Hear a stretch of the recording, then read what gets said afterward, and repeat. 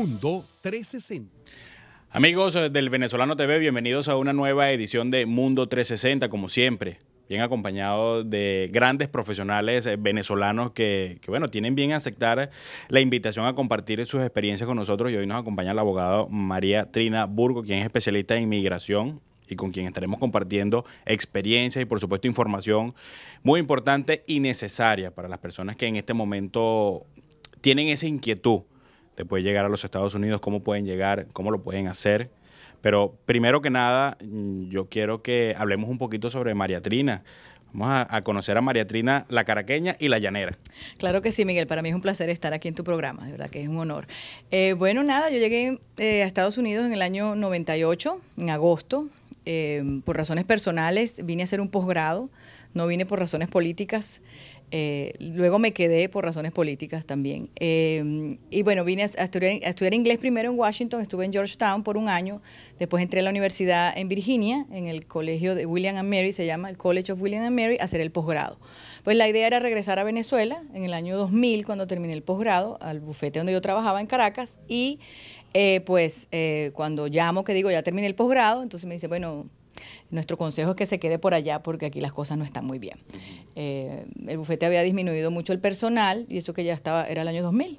Eh, teníamos dos años con, el nuevo gobierno, ¿no? Desde el año 98, diciembre del 98. Entonces, bueno... haciendo tu posgrado en qué área? En, en internacional, Derecho Internacional, sí. Entonces, eh, pues, bueno, la idea del, del máster en leyes es regresar a tu país con un mejor trabajo, pues hablas otro idioma, mejor salario también, porque realmente la idea, y eso te lo voy a explicar un poquito más adelante si quieres, lo de la, equivalencia, ¿no? Claro, porque fíjate, voy a aprovechar para preguntarte, porque estás haciendo un máster en Estados Unidos, mm, yo tengo entendido que el derecho venezolano un derecho romano y en Estados Unidos es un derecho evolutivo, algo así creo que es la explicación. Sí, no, que es el derecho inglés, también es diferente, el common law, que es el americano que viene de Inglaterra. Entonces, el problema, no es el problema, sino que el de hecho yo pienso que el derecho de nosotros es mucho mejor, es el código napoleónico, el código romano, todo está regulado. Entonces, lo que pasa es que en nuestros países, por ejemplo, tú te gradúas del bachillerato y entras a la universidad directo a tus cinco años de derecho que fue lo que yo hice en la Universidad Católica Andrés Bello. Entonces, aquí es diferente. Aquí para tú entrar a la escuela de Derecho, la escuela de Derecho se llama una escuela de graduados. Entonces, tienes que tener una carrera antes de entrar a la escuela de Derecho. Ah, Entonces, las carreras aquí duran cuatro años porque el bachillerato dura seis. Entonces, si realmente son cinco la carrera, si sacamos la cuenta, eh, y después que te gradúas de cualquier carrera, entonces entras a la escuela de Derecho, que son tres años. Entonces, ¿qué pasa? Si yo hubiera sabido que haber, haber hecho el posgrado y no haber regresado a Venezuela, hubiera hecho el JD, que es lo que llaman, o sea, hubiera hecho los tres años. Claro, también como para, abogado, como abogado aquí, claro, monetariamente es muy costoso. Yo tenía dos niños pequeños, ya son hombres grandes, pero en ese momento pues estaba muy ocupada con los niños, entonces para mí era mejor también hacer el máster, solamente que era un año nada más. Entonces no regreso a Venezuela y eh, la suerte que consigo un trabajo en una firma en Miami, en el downtown, y la persona me dice, eh, bueno, aquí lo único que hay es una posición de paralegal, de inmigración. Entonces yo, obviamente vienes de Venezuela con otra mentalidad, yo fui juez, abogado, eh, jefe de un departamento judicial, entonces, para legal, o sea, ¿qué es eso? Por favor, ¿cómo se te ocurre? ¿Cómo voy a bajar yo? ¿Qué es eso? obviamente, el pensamiento de uno va con otra cosa, con la necesidad, ¿no? Entonces, bueno, bueno, voy a aceptarlo, entro por la puerta de atrás del, bufete y espero salir por la, por la de frente, ¿no? Y esa es la idea, y eso es lo que le digo a todos los inmigrantes también. No importa bajar, todos tenemos que bajar escalones para poder volver a subir. Sobre todo que este país... sobre todo cuando llegas a este país. claro, y sobre todo que este país te lo permite y, y, lo logras con trabajo, lo logras. Eh, vuelves a subir tus escalones. Entonces, bueno, empiezo a trabajar, ellos me patrocinan la visa de trabajo, que es una de las visas de profesionales, que es la H, y me dan mi visa por tres años. Entonces empiezo a llenar formularios. Miguel, ese era mi trabajo y ahí aprendí. Y yo decía, mi inmigración, pero ¿cómo sé? ¿Pero qué es eso? Yo no sé nada de eso. O sea, como que, pero tuve cinco años con ellos. Fue mi escuela para aprender todas las visas de negocios, todas las visas H, la L, la E, todo el abecedario y cómo funciona un bufete eh, corporativo, que, que estás en como una burbuja también, porque al momento que yo paso el examen de la barra, que esa es otra parte de la equivalencia, porque Virginia es un estado muy peculiar del common law. Entonces eh, me dejó presentar el examen de, del Colegio de Abogados de Virginia. Entonces con mucho sacrificio, paso mi examen y ya soy abogado. O sea, ya soy abogado en Virginia, pero en los Estados Unidos considerada abogado también. Lo que pasa es que no puedo ejercer otras materias. ciertas limitantes. Exacto. A menos que yo vivo en Virginia, pero como vivo en Florida, solamente puedo ejercer inmigración. ¿Por qué? Porque inmigración es materia federal. ¿Qué quiere decir eso? Que la ley migratoria es la misma en los 20 estados. En los 50 estados, los 20 estados son Venezuela. En los 50 estados de Estados Unidos, la, la ley es la misma. Entonces, la ciudadanía son cinco años en Florida y son cinco años en Virginia, no, en California también. La residencia se hace después de dos años, igualito. O sea, ¿por qué? Porque es ley federal que la modifica es el Congreso. Entonces, de allí pues viene el- el- la ventaja de que aunque yo tengo el bar de Virginia, puedo ejercer inmigración en Florida. Y es muy importante eso también, un abogado licenciado.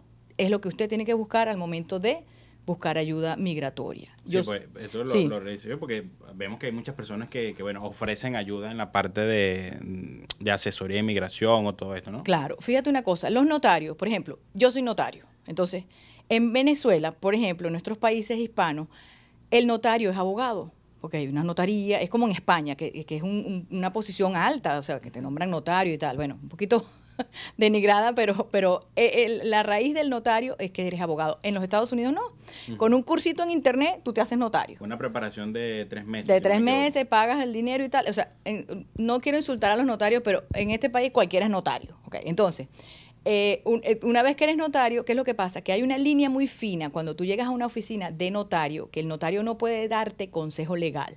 Entonces, solamente lo que- la ley dice, usted le entrega la planilla y él la llena. Eso sí lo puede hacer el notario llenarte la planilla de ciudadanía, por ejemplo. Pero entonces tú le preguntas, bueno, pero mira, es que debo unos impuestos, ¿y usted qué cree? Entonces le empieza a hablar y te dice, bueno, no, si debe, ya está dando consejo legal, está violando la ley. Pero, pero la, el, el- el hecho de, o sea, como que es como una emoción, como algo de que la gente lo que quiere es dar consejo y entonces se está metiendo en un problema porque eso es practicar ilegal la profesión.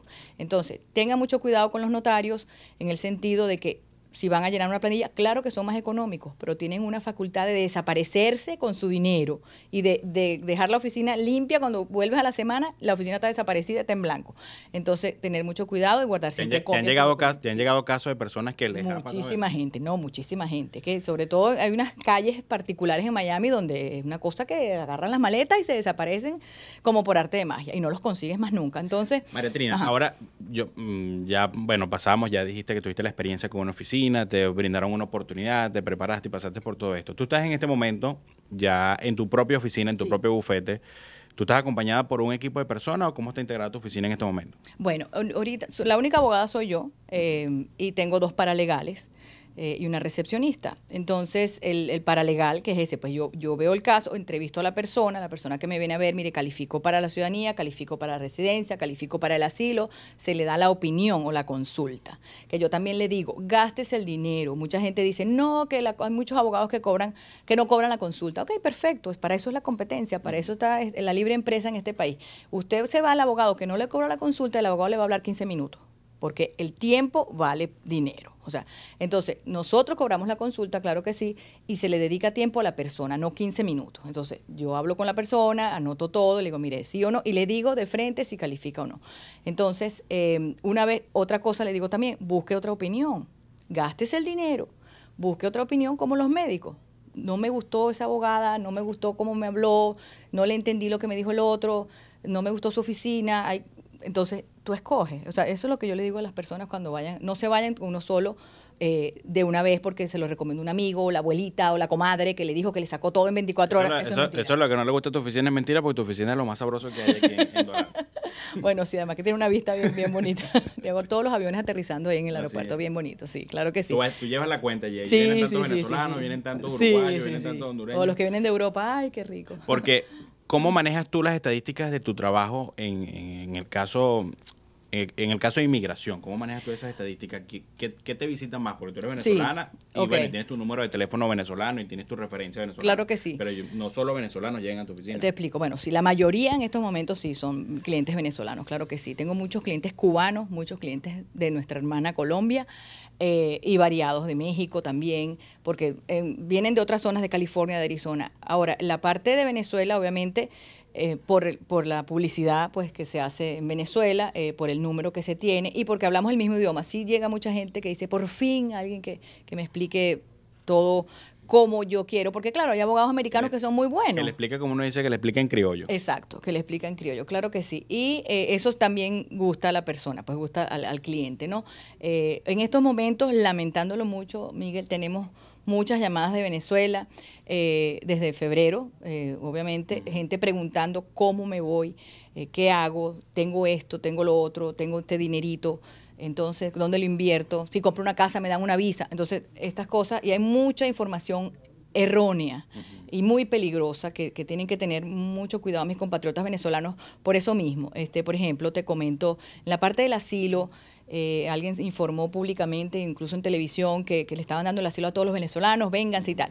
Entonces, vénganse, y no solamente vénganse, sino que los que estaban aquí legales también. Entonces, eh, muy peligrosa, muy responsable esa información si usted califica para el asilo, se lo van a dar sin ningún problema. Ahora bien, ahora que toques el punto del asilo, una persona que considere que, yo aplico por un asilo, Mariatrina, yo creo, yo quiero asilo. Entonces, ajá, tú le dices, revisamos el caso. No, pero eso no es asilo. O sea, ¿cómo, cómo, lo, ¿cómo evalúas tú? Es claro, porque yo le digo, bueno, ¿qué es lo que te, está, qué te pasa? Porque, porque el asilo tú huyes de tu país por persecución y tienes miedo de volver. Entonces, ¿qué pasa? Que el asilo, tú sales de tu país de un día para otro.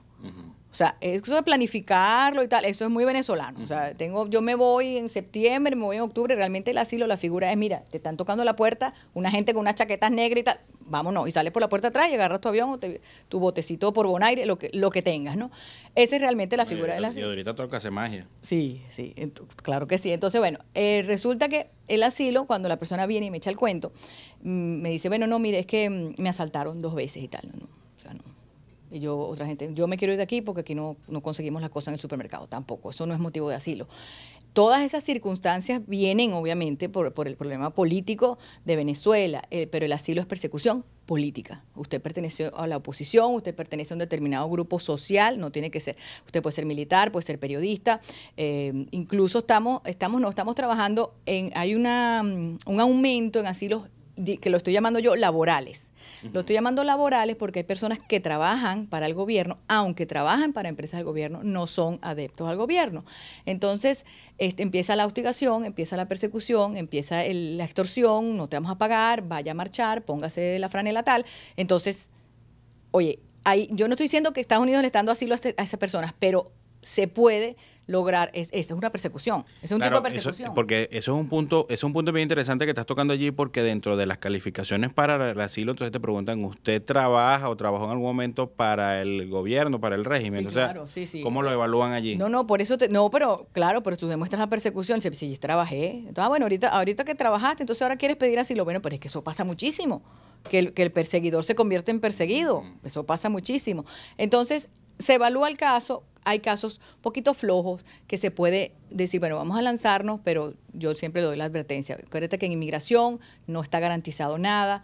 En este momento, o sea, hoy, el, mejor momento para pedir asilo es ahora. En la situación, lamentándolo mucho, como ya te dije, en Venezuela, pienso que va a empeorar eh, y no, no, le veo salida todavía. entonces la gente está viniendo, la gente está, está llegando a pedir asilo. Pues. y con respecto a lo del asilo y lo que se ha escuchado también de un TPS. Ok, fíjate lo siguiente, esa es otra cosa. El TPS es un estado de protección temporal que normalmente se hace cuando eh, desastres naturales. Normalmente es con desastres naturales, fíjate, en los países bueno, En Venezuela ocurre un desastre sobrenatural. sobrenatural, yo creo que sí. Em, pero lo que pasa es que, el, por ejemplo, los terremotos, huracanes en, Honduras y Lo que pasa es que tienen muchísimo tiempo, ya eso ya pasó, o sea, ya eso pasó. El terremoto pasó, fíjate, el último TPS fue Haití, por el terremoto de Haití. Entonces, pero ellos siguen en TPS. Claro, ¿por qué? Porque el país no se ha recuperado. El país que tiene el TPS no se ha recuperado económicamente para recibir a todo ese gentío que va a volver. Entonces el gobierno sigue dándole largas, que yo no sé de verdad cuándo, cuándo va no de nuestro país decir si ya, ya me puedes mandar a la gente que ya termine, ya está todo chévere, no creo. Tiene unas condiciones diferentes y unas limitantes sí, entonces otra cosa, el TPS lo pide el gobierno al gobierno americano, entonces mm. tú vas a creer que el presidente o sea, eso no, eso no existe un TPS a los venezolanos, no existe. No, no existe, no existe. Están las propuestas, están las peticiones firmadas por, por los ciudadanos de aquí pidiendo un TPS para los venezolanos, pero el TPS es para los que ya están aquí para que no los deporten. Eso también, también es el defer action, por ejemplo, pararles las deportaciones a los venezolanos mientras se resuelve allá, entonces pueden estar aquí, sacar el permiso de trabajo. Eso sería una opción noble del presidente Obama si eso se hiciera. Parece que tampoco le importa un poquito la situación venezolana. Yo pienso que no le han prestado la atención que se merece lo que está ocurriendo allá. ¿Estás trabajando sábado y domingo? Estoy trabajando sábados. Eh, no trabajaba, te cuento mi que rapidito, los martes en la tarde hacía mis diligencias personales, que si la peluquería y la cosa, eso se acabó. Los viernes lo mismo que si el supermercado y tal, y los sábados pues descansando. No he podido, no he parado de lunes a sábado corrido y el domingo sí dije no. No, una persona me llamó porque se iba el lunes, típico de nosotros venezolanos. Este, em, llegué ayer, me voy el domingo, ¿cuándo la puedo ver? Para vernos el domingo. Entonces tuve que verla en un sitio, en una cafetería y tal, pero no acostumbro a hacerlo y, porque es que me voy a desgastar. ¿Desde cuándo no vas a Venezuela? Bueno, fíjate que mm, allí volví en mayo pasado, eh, fui un fin de semana. Fui viernes a lunes eh, por un compromiso familiar de, un matrimonio este, y no salí. O sea, fui al hotel, fui a la fiesta, eh, regresé. ¿Cómo te sentiste en esa Venezuela que llegaste, a la que llegaste en mayo? Bueno, fíjate. la misma Venezuela que claro, la que dejé en enero no era la misma, porque todo empezó en febrero. Entonces, claro, siempre muy temerosa. Ven a buscarme, eh, no saques el teléfono, este, no te pongas esta ropa, no te pongas esta prenda. O sea, obviamente, eso es lo que uno lo entrena para más o menos estar. Ahora, una cosa que sí te digo, Miguel, de todo corazón. Eh, las otras veces que he ido a Venezuela, cuando Estoy en el aeropuerto de Maiquetía, que vas a pasar inmigración. Es, una aprensión y un, nervio que, no sé por qué, porque no pasa nada, si es mi país. Mm. Pero entonces no, salir y me dice, llámame cuando, cuando ya pasaste, me llaman los muchachos, cuando ya pasaste inmigración, avísame. Como que sí, ¿qué pasó? No importa. Pero bueno, siempre es como un sustico. Entonces, y cuando ya el avión cierra la puerta, sientes como un alivio. Estoy hablando de mi sentimiento, ¿ok? Personal. Entonces ya el avión agarra su vuelo y tal, y ya, ya, ya salí de esta inseguridad y de este susto la última vez que fui no me pasó así. Me ¿Te sentiste un poquito más seguro? Me no, me sentí muy triste dejando a Venezuela. Me sentí muy triste como la dejé, porque la dejé peor que enero cuando había ido, con todo lo que está pasando, con todos los eventos, con toda la indefensión de los derechos humanos, con todo eso. Entonces, vi la montañita ahí donde está Tacoa, que ves la, la, la cosa de gas, la, y me dio mucho sentimiento porque no estaba alegre de que ya salí de aquí, me monté en el avión y me voy. No, me dio, me dio mucho pesar. Sentí lo mismo cuando agarré el avión hace 16 años, que me fui de mi país. ¿Qué extrañas más de Venezuela? Bueno, imagínate, este, todo, el venezolano como tal, el venezolano como tal, eh, sus reuniones, la familia, eh, salir, todo, todo, la comida, este, aunque tenemos muchas cosas aquí que se parecen mucho y casi alcanzan el mismo sabor y todo, pero es el día a día del venezolano, por lo menos que yo vivía en Caracas, eh, es otra cosa, o sea, salir, tomarse unos traguitos con los amigos, no estoy diciendo que aquí no se pueda, pero en este país vienes a trabajar. Vienes a trabajar y no paras. Valentina, bueno, es especialista en inmigración. Brevemente, mm, ¿dónde te localizan las personas que necesitan de, tu asesoría, de tu servicio? ¿Dónde te pueden localizar? Claro que sí. La gente, mis amigos me dicen Drupi que estoy en todos lados. No sé si te acuerdas del perrito Drupi de la comiquita, ¿no? Bueno, salgo en todos lados. Este, bueno, estamos en, el Doral. Eh, me pueden seguir en Twitter, arroba abogada Burgos. Eh, también nuestro email es info arroba mtburgos.com. Ahí pueden mandar sus preguntas. Info arroba mtburgos.com. Tenemos un teléfono desde Venezuela 0212-771-3040. Obviamente desde Caracas marcan solamente el 771-3040 y nos cae directo en la oficina de Miami. Y también el teléfono de Miami 305-468-0044. Estamos a sus órdenes, por supuesto. Y si le dice que vieron, que vieron el programa y que están viendo esta entrevista ahorita, de repente María tiene, tiene alguna consideración por ahí.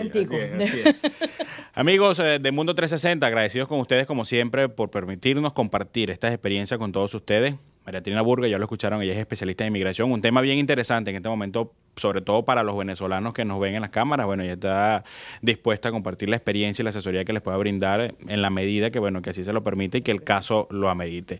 Yo me despido hasta una próxima entrega.